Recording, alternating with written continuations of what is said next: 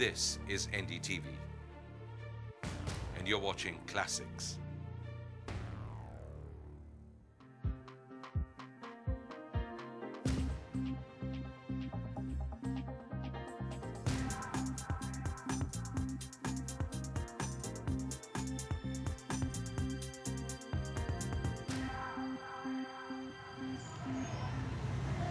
India Inc. comes you this week from Pondicherry. Pondicherry is a place more associated with spirituality and religion than business. But in this season of unusual business stories, we bring you the story of yet another unusual businessman, Dilip Kapur and his company Hidesign. And the story of Dilip Kapur begins right here in Pondicherry. My parents moved here in 1954 uh, into the ashram. And I spent 10 years in the ashram school. And then I went at the age of 15, I went to high school in America, and then college, and then PhD, and all that.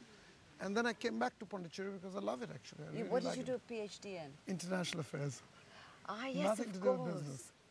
So international affairs, Yeah. PhD, and you come back and you start making handbags. Well, that was um, part, partially a mistake, let's put it that way. What, the international I came back international for? Auroville, actually. Came back to live in Auroville, um, but there wasn't enough happening there.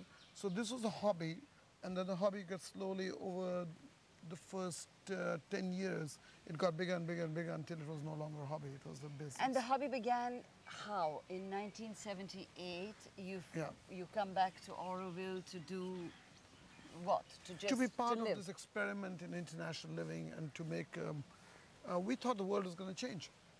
And so you start off as a hippie, and do you become a hippie partly because of your alternative type of childhood, or? Um, possibly. I just found it interesting the questioning that was happening. I mean, I, um, I wasn't. I was never really interested, and I never found interesting mainstream America. Hidesign went from being just a hobby to a successful business. But in this, Dilip Kapur's main factory, the atmosphere remains alternative in terms of its environmentally friendly atmosphere. It also remains a family business, albeit of the nuclear kind, with Dilip and his wife Jacqueline running the show. You know, it started as a hobby because I was pretty anti-business, uh, but as it kept growing um, and became more and more successful, and I was spending more and more time with it. Uh, one day I suddenly realized I had three, four hundred people. I was working in five different houses, which are full of my workers. It was, it was no longer a hobby. We first was selling essentially to all counter culture shops. You know, whether they were what you want to call them, hippie shops or, you know, gay stores or whatever. Anybody who was against the normal mainstream. Um, but then those people also grew up. I mean, one of them got jobs as a chief buyer of John Lewis. Uh, and he says, look, if I carry it, why can't I have it in John Lewis? And he bought it, and that was the first move into mainstream. So John Lewis was your first customer Break- abroad. Break, no, no, no. We were always selling, until 2000, we were selling only abroad. India was just sort of the surplus.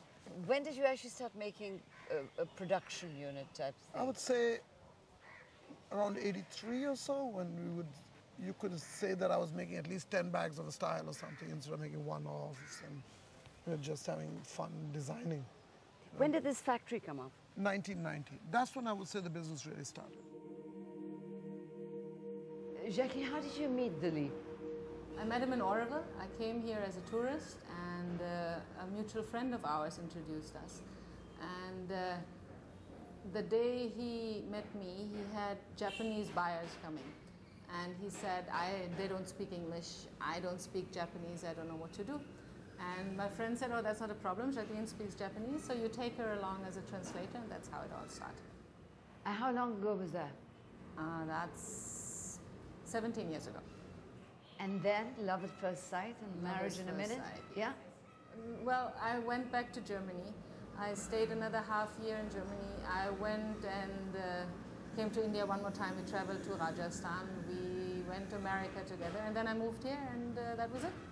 And you've been involved with Hidesign from the beginning? I arrived on a Tuesday. Wednesday morning, Dilip told me, You're the boss of the garment section now. So I said, Okay, I'm the boss of the garment section, and that's how we started. It was a lot of trial and error, but But the bags was already. The bags was Dilip, and uh, he had started a small garment um, unit at that point.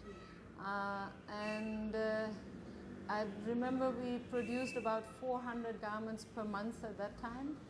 And uh, we brought it up, I remember the first thousand, and then it was 10,000, and that's. What is it now, the garments? Uh, well, at one point we produced 20,000 garments, but with the leather garments business uh, falling apart internationally, we're producing about 10,000 at the moment. Yeah. So this is this is the house where you lived as a child. This is the house where my parents came in in 1954 when they joined the ashram. It's the first house and the last time. My mother still lives here And you lived here all your childhood. uh, until the age of 15. And then I moved to America. And your father, what brought him to the ashram? He always wanted to be. He's uh, the original um, Indian sadhu, but modern sadhu. And he was satisfied with, with being here. He didn't want to do any business. Didn't go back well, he had a business, as you know, which is sold and and uh, What business was he doing? he had. Can you believe it? He had a shoe factory. So it's in the genes, but I never saw it. So he had a shoe factory which he sold and came to Pondicherry and never went back to business again. No. So your Hidesign starts from scratch. Yeah, Right. from scratch. Right.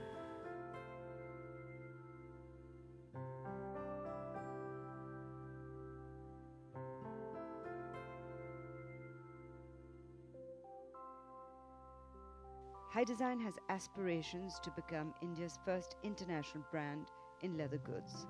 It's already a well known brand in India. Dilip Kapur has succeeded in ensuring that his company sticks to a form of tanning leather that causes less environmental damage.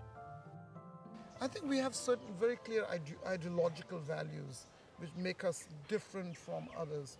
One is that extreme um, naturalness that we've always had. You know, the fact that we are very, very concerned that we don't want to cover the leathers with a lot of paint, which is what most companies do. Uh, we want to have the natural grain. We want the natural look of the leather. Uh, we see it as a very, very natural material, and that's uh, that we're very environmental conscious. Uh, you talked about the gardens. Yeah, I wouldn't know how to live uh, in any other way. The same thing in our tanning. We were, I think, the pioneers, and we're still the leader in experimenting with vegetable tannings.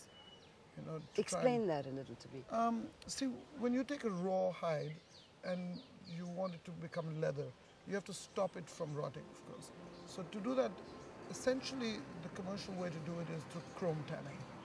We use chromium salts to stop it from doing that. But the traditional way was through using vegetable extracts from trees and barks and seeds and all that. Um, so we went back to that and started experimenting with that.